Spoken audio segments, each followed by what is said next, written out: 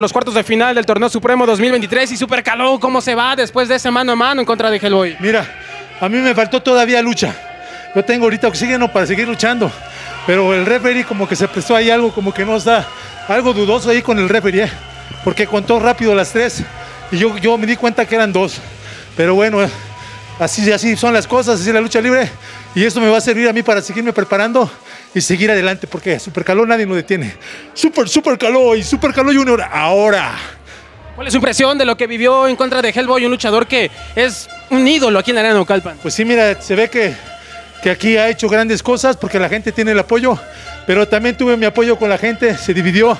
Eso es lo bonito de la lucha libre, vivir esa situación es bueno porque yo ya, digo, ya tengo un tiempo, él está joven, pero la gente se dividió y eso para mí me inyectó mucha, mucha fuerza, mucha flow, como dice mi chavo, mucho flow y con Claudio en mi esquina.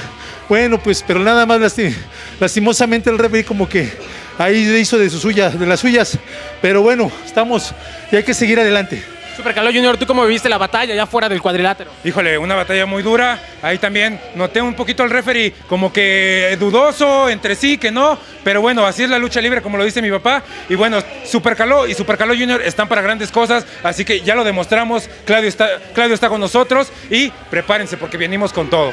Cuídense porque viene el Flow y Super Caló y Super Caló Junior junto con Claudio Yarto con todo.